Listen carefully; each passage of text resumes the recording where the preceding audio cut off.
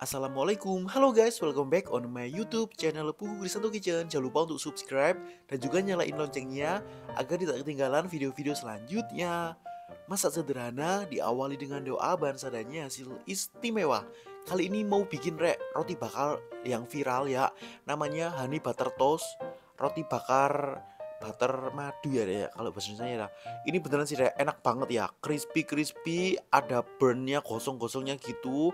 Luarnya super crispy banget dalamnya tetap lembut Rek. Tuh seperti ini Rek. Gampang banget bikinnya Rek. Pertama kita siapkan roti tawar. Kalau ini aku bikin sendiri Rek ya. Nanti resepnya aku taruh di kolom deskripsi Rek. Ini roti tawarnya kalau bisa kalian pilihnya yang ukurannya agak tebel Rek ya. Kalau nggak salah ada Rek di Indomaret Rek. Itu namanya roti tawar seri roti yang uh, double soft kalau nggak salah. 15.000 atau 17.000 gitu rek. Pokoknya lebih tebel dari roti tawar biasanya rek. Ini tinggal kita potong-potong aja ya rek ya. Kalau aku bikin sendiri resepnya nanti aku taruh di uh, linknya di kolom deskripsi rek ya. Tuh ini hasilnya bagus banget rek aku bikin sendiri. Jadi bisa dipotong tebel-tebel gitu. Kita aku mau potong-potong dulu mau aku lanjutkan sampai semuanya habis rek ya. Ini roti tawar kalian boleh pakai merek apa aja rek ya. Boleh pakai rasa apa aja juga. Kalau kalian ada rasa coklat ada rasa pandan itu juga boleh rek ya. Pokoknya roti tawar. Kemudian rek kita siapkan bahan olesannya. Di sini tuh ada mentega aku pakai blue band margarin sih rek ya. Terus ada apa namanya gula coklat. Kemudian ada madu. Ini bukan madu obat batuk rek ya. Madu biasa gitu. Sama garam sedikit udah deh ini tinggal diaduk-aduk aja sampai tercampur merata gitu loh rek. Ini enak banget rek olesannya rek.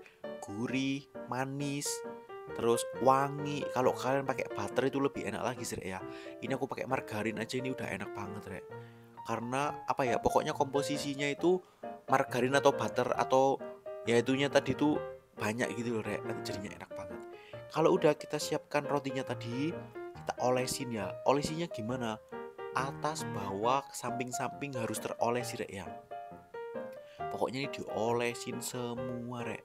Sampai merata ya rek ya. Kali ini nanti aku itu manggangnya mau pakai oven rek. Kalau kalian punya teflon juga nggak apa-apa ya. Kalau kalian punya pemanggangan roti juga nggak apa-apa. Ini aku lagi lagi ada oven ya bagus. Jadi aku pakai oven deh. Ini pokoknya kanan kiri atas bawahnya semuanya harus diolesin rek ya. Tebel juga nggak apa-apa rek karena nanti dia tuh bakal meleleh meresap ke rotinya terus bikin rotinya itu crispy rek ya. Dalamnya tetap lembut gitu. Mantep lah rek pokoknya rek. Ini kalian lanjutkan sampai semuanya habis rek ya. Ini karena rotinya tebel jadi harus pelan-pelan dan harus sabar ya rek ya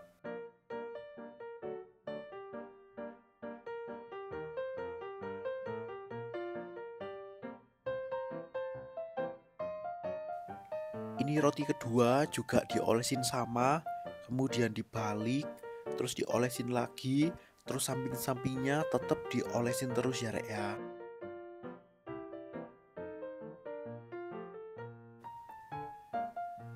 Ini loh rek oven yang aku ngomongin tadi rek. Ini tuh Mito MO777 rek ya.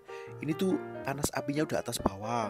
Low watt pengaturan lengkap garansi satu tahun awet banget rek. Dari dulu aku pakai ini nggak rusak-rusak alhamdulillah. Udah jadi rek ya ini rek ya manggangnya kurang lebih 30 menit atau 25 menit juga boleh. Sampai mateng ya jangan lupa dibalik ya rek ya. Selamat mencoba, kalian pasti suka rek beneran, wajib dicoba ya. Terima kasih sudah menonton, jangan lupa untuk subscribe, like, share, dan komen. Sampai jumpa di video selanjutnya